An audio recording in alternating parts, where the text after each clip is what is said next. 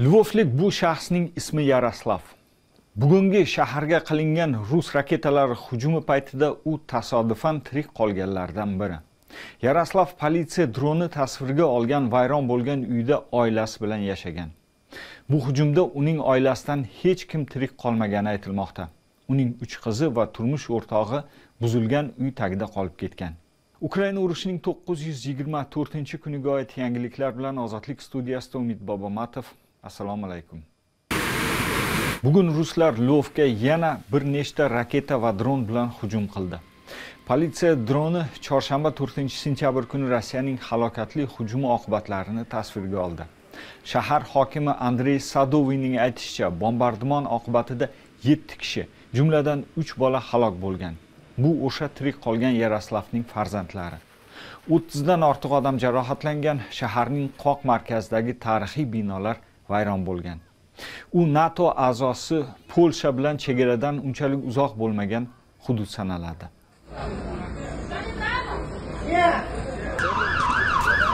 Bugun rossiya ukraina shaharlaridagi tinch aholini ommaviy bombardimon qilishda davom etdi.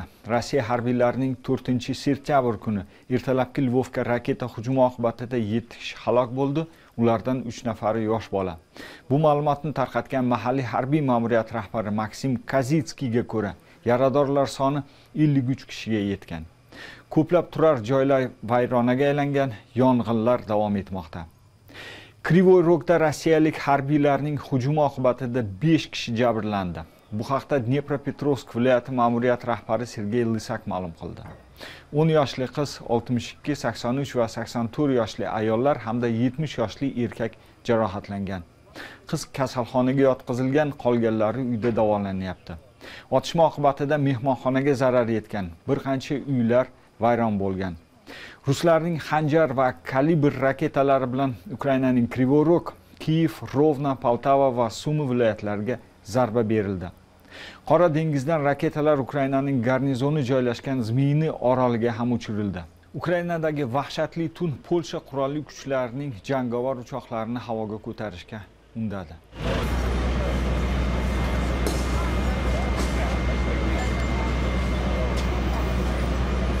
Rossiya mudofaa vazirligi e'lon qilgan navbatdagi kundalik hisobotda so'nggi sutka mobaynida rus qo'shinlari ukrainaning ko'plab hujumlarini qaytarib xarkiv avdeyevka va donetsk yo'nalishlarida qarshi hujumlar uyushtirgani hamda ukraina armiyasi shaxsiy tarkibi va texnikasiga jiddiy talafot yetkazgani da'vo qilindi.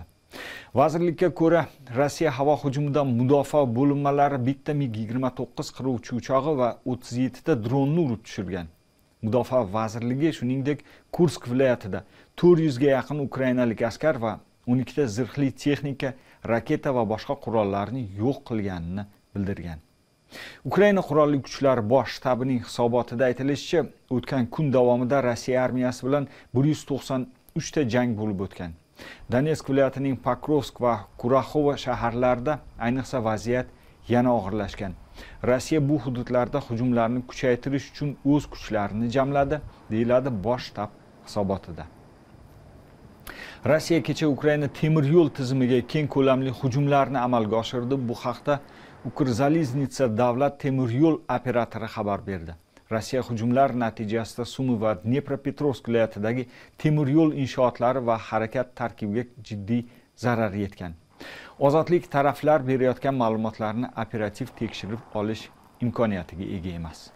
Ukraina prezidenti vladimir zelenskiy poltavaga hujum oqibatida halok bo'lganlar soni 53 kishiga yetganini ma'lum qildi. Poltavadagi fojia bilan bog'liq qutqaruv ishlari hamon davom etmoqda.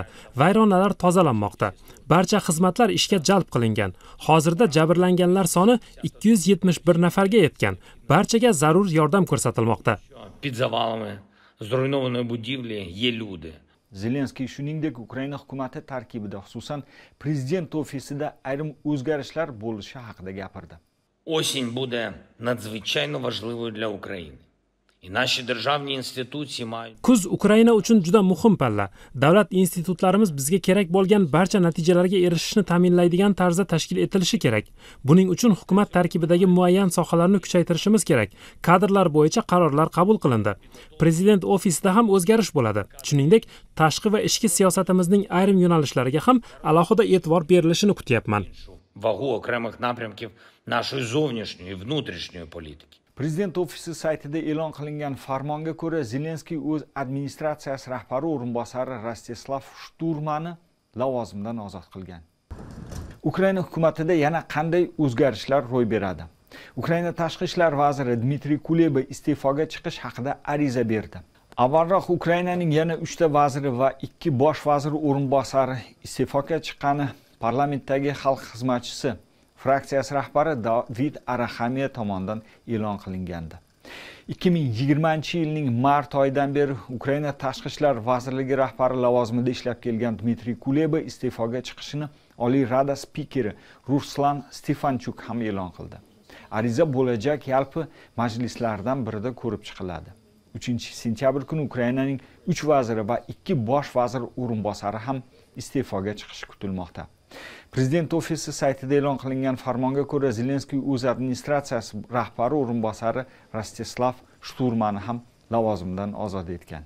Shuningdek adliya vaziri denis malyuska atrof muhitni muhofaza qilish va tabiiy resurslar vaziri ruslan strelets strategik sanoat vaziri aleksandr kamyshin yevropa integratsiyasi bo'yicha bosh vazir o'rinbosari olga stefanishina bosh vazir o'rinbosari va vaqtinchalik bosib olingan hududlarni reintegratsiya qilish bo'yicha vazir o'rinbosari irina vereshchuk o'z lavozimlarini tark etadilar. Suspilniy nashri yozishicha ukraina oliy radasi iste'folarni to'rtinchi sentyabrdayoq tasdiqlashi mumkin.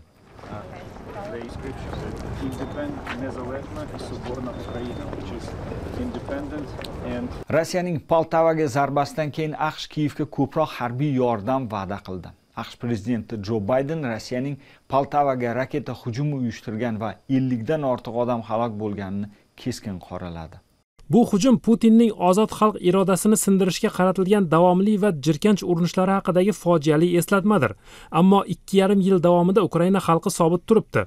Qo'shma shtatlar esa ular bilan birga bo'lishda davom etadi. Jumladan havo hujumidan mudofaa tizimlari va o'z mamlakatlarini himoya qilish uchun zarur bo'lgan imkoniyatlarni taqdim etadi. Adashmang rossiya bu urushda g'alaba qozonmaydi. Ukraina xalqi g'alaba qozonadi. Oq uy milliy xavfsizlik kengashining strategik aloqalar bo'yicha muvofiqlashtiruvchisi jon kirbi poltavaga raketa hujumini putinning ukraina xalqiga nisbatan shafqatsizligi haqida yana bir dahshatli eslatma deb atadi. U qo'shma shtatlar yaqin haftalarda kiyevga qo'shimcha harbiy yordam jo'natishini bildirdi. Kirbining eslatishicha bir haftadan ko'proq vaqt oldin aqsh ukrainaga harbiy yordamning yangi paketi jumladan haymars tizimlari uchun raketalar dronlarga qarshi kurash uskunalari o'q dorilar va tankka qarshi javelin tizimlarini o'tkazishni e'lon qilgan. Uchinchi sentyabr kuni tushdan keyin rossiya poltavadagi harbiy aloqa instituti va yaqindagi kasalxonaga ikkita ballistik raketa bilan urdi.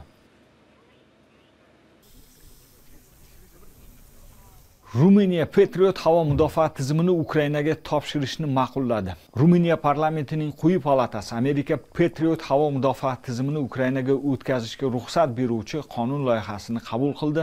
Reuters xabariga ko'ra ruminiya o'zining ikkita operativ patriot havo hujumidan mudofaa tizimidan birini kiyevga topshirishga rozi bo'lgan. Buning evaziga natodagi ittifoqdoshlar xuddi shunday yangi havo hujumiga qarshi mudofaa tizimini yetkazib berish majburiyatini oldi. Ruminiya senati mudofaa qo'mitasi raisi nikoletta paulukning ta'kidlashicha patriotning ukrainaga o'tkazilishi ruminiya himoyasiz qoladi degani emas. Yuqorida aytib o'tilgan ikkinchi ekspluatatsiya majmuasidan tashqari buxarestda yana beshta bunday tizim mavjud. Ikkitasi foydalanishga topshirilgan va yana uchtasi tez orada yetib keladi.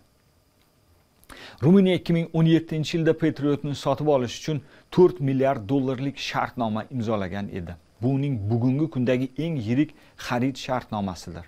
ikki ming to'rtinchi yildan beri nato a'zosi bo'lgan ruminiya ukraina bilan olti yuz ellik kilometr umumiy chegaraga ega.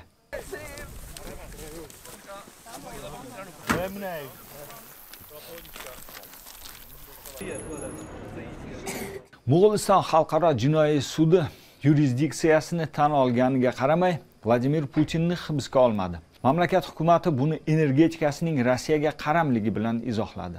Seshanba kuni mo'g'uliston poytaxti ulan batorda vladimir putinning tashrifiga qarshi kichik norozilik namoyishlari o'tkazildi.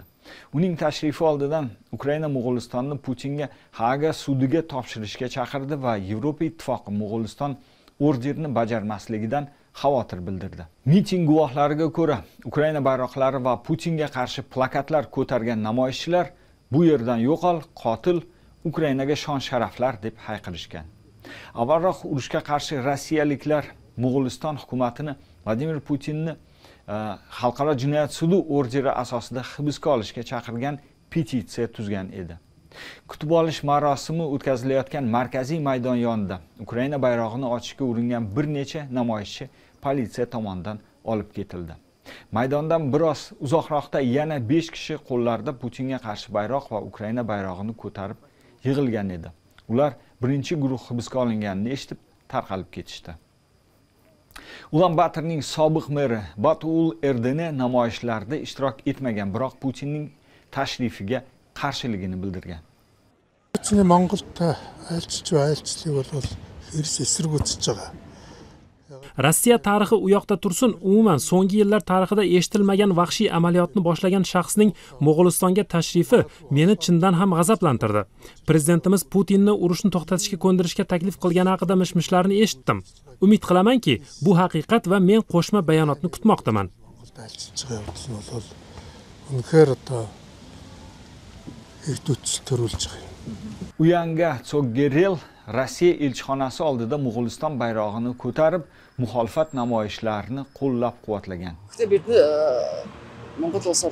энэ biz davlat mustaqilligini qadrlaganimiz uch butun o'ndan to'rt million aholimizning erkinligi va qudratini hurmat qilganimiz uchun mavjudmiz aynan shuning uchun ham men vatandosh sifatida kechadan beri mo'g'ulistonni dunyo oldida o'ylamasdan xo'rlayotgan va sharmanda qilayotgan putinga qarshi norozilik bildiraman.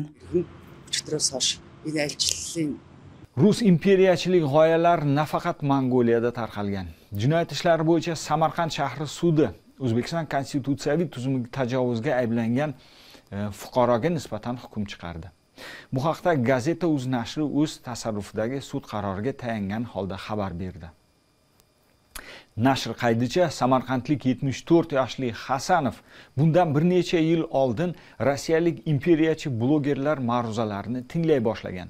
Sud qarorida keltirilishicha hasanov youtube orqali aleksey ivanovich ismli odam bilan tanishgan. So'ngra 2023 yil yanvarda moskvaga borib u yerda sovet ittifoqini tiklash uchun tarafdorlar to'planayotgan odamlar bilan uchrashgan. Sudlanuvchi o'tgan yilning mart oyida o'zbekskaya sssr telegram guruhiga qo'shilgan.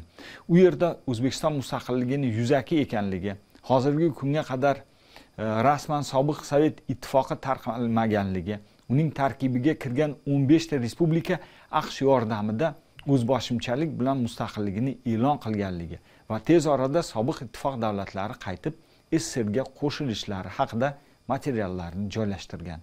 Deyilgan gazeta uz nashrining sud qaroridan iqtibos olib yozilgan xabarda samarqand sudi hasanovni o'zbekiston jinoyat kodeksining bir yuz ellik to'qqizinchi moddasi bilan aybdor deb topib unga nisbatan uch yil muddatga ozodlikni cheklash jazosi tayinlagan.